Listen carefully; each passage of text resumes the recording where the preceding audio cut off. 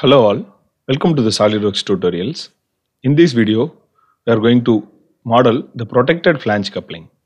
The protected flange coupling has five parts, so we are going to start with the shaft. Open SolidWorks, click new and create a new part. Select the front plane, click sketch, draw a circle of diameter 50 mm. Go to features, click extruded boss. The extrude length is not given, so I am keeping a length of 100 mm. Now select the surface, click sketch. So use Ctrl 8 to view it in the normal direction. Now click convert entities. Now you can see that we have converted a line from the previous sketch to this sketch. Now select rectangle. So select a center rectangle, start a rectangle and finish it like it coincides with the outside circle. Now go to trim entities and trim the unwanted regions.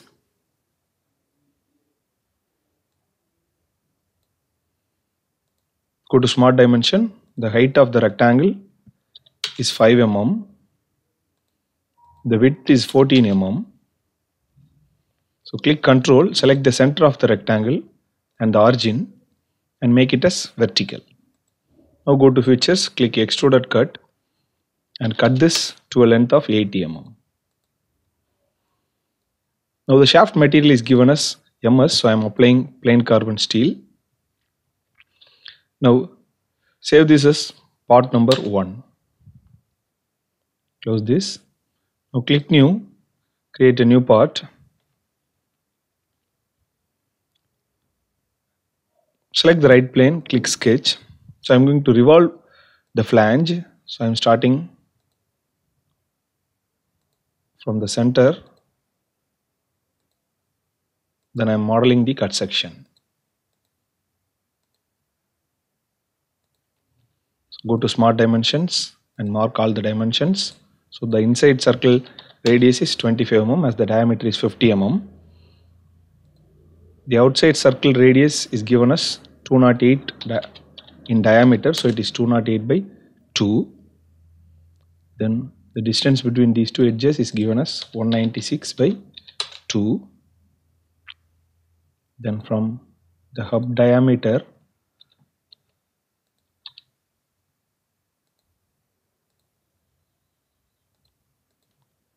it is 96 by 2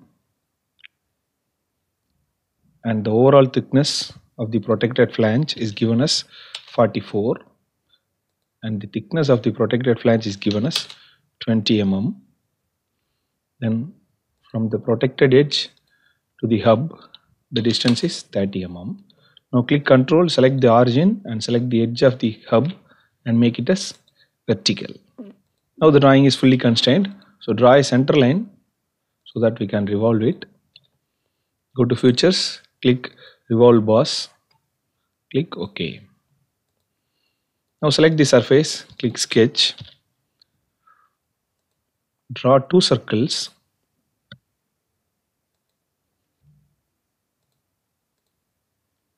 So the pitch circle diameter is given as 146 mm and click the circle and make it as for construction. Similarly, go to smart dimension and the hole diameter it is given as 16 mm. Go to features, click extruded cut, choose through all.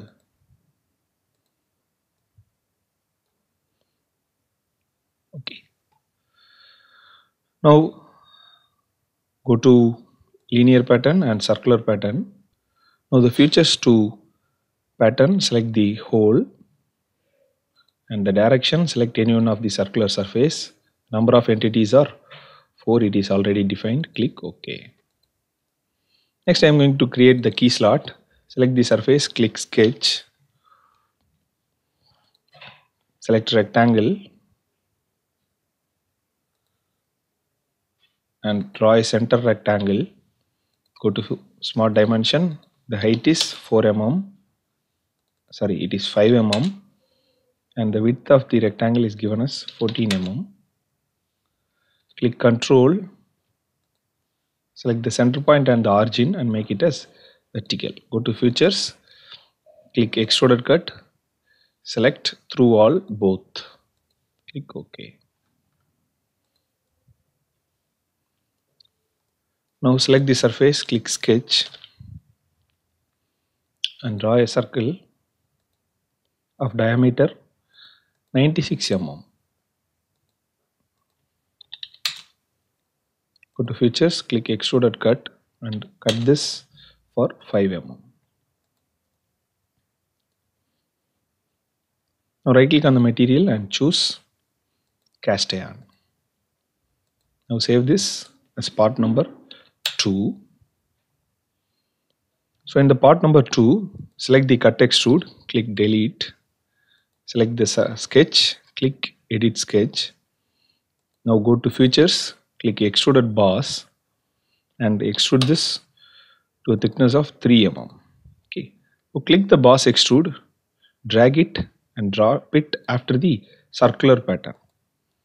So now we have already created the key slot. So we have to cut a circular hole. So select the surface, click sketch, draw a circle of diameter 50 mm. Go to features, click extruded cut, select through all both.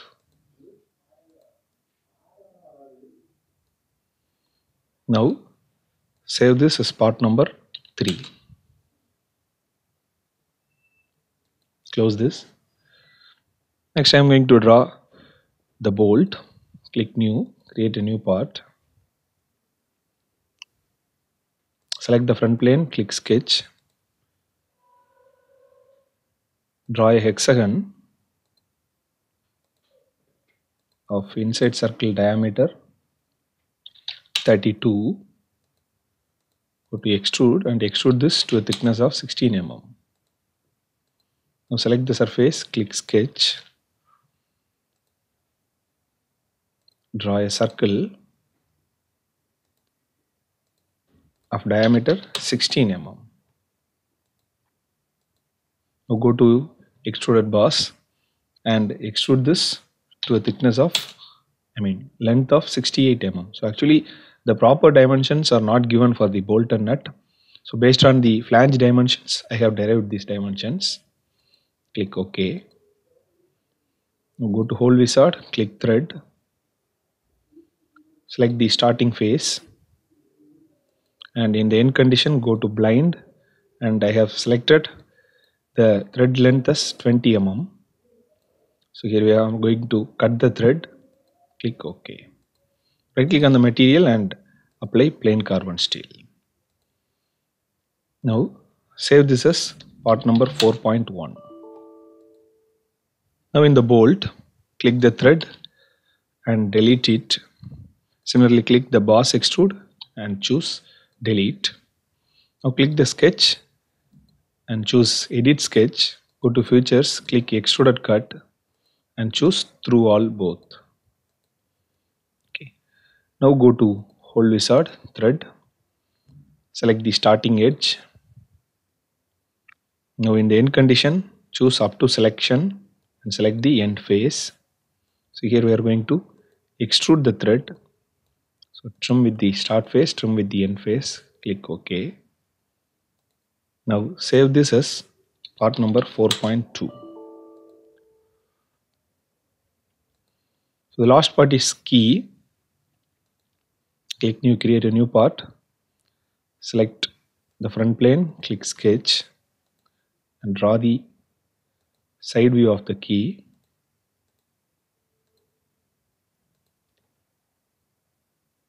So I'm drawing a reference line to mark the angle. So go to smart dimension. The length of the key is given as 76. The height is given as 10 mm.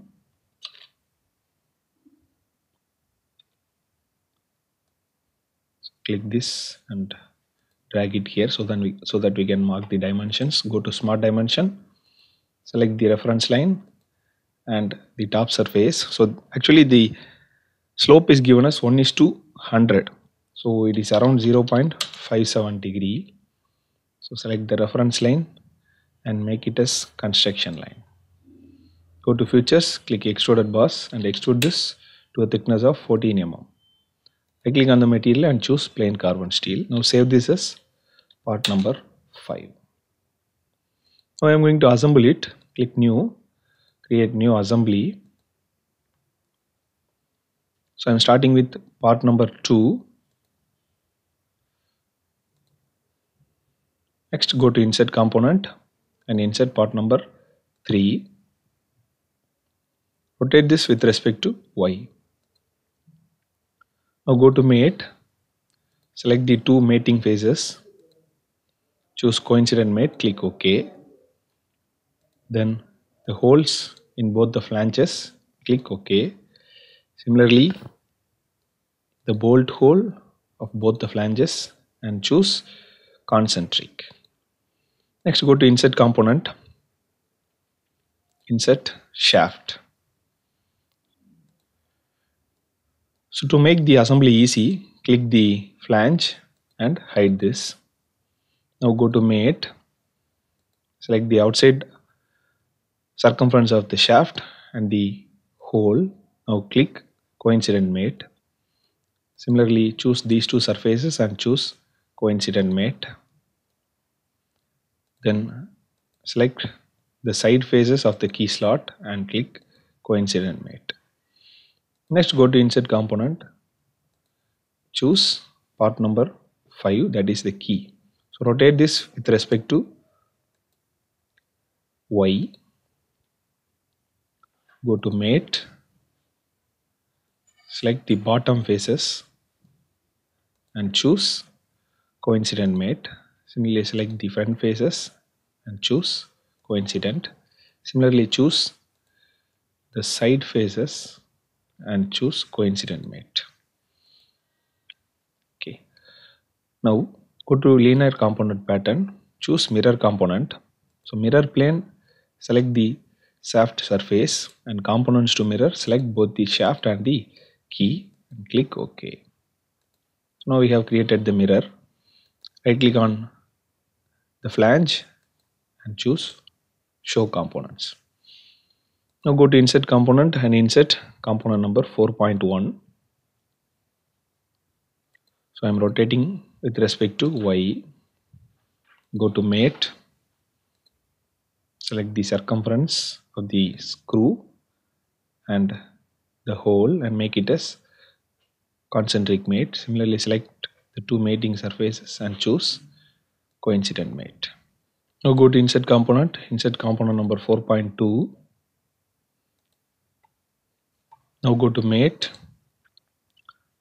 Select the circular edge of the nut and the circular edge of the bolt and make it as concentric. So you can select the circular edge of the bolt on any one side. Similarly select the two mating surfaces and click coincident mate. Now go to linear circular pattern. Choose circular pattern. Direction choose any one of the circular surface. Components to pattern select the bolt and the nut. And number of entities are 4 click ok. So now we have completed the modeling and assembly of protected flange coupling. Thank you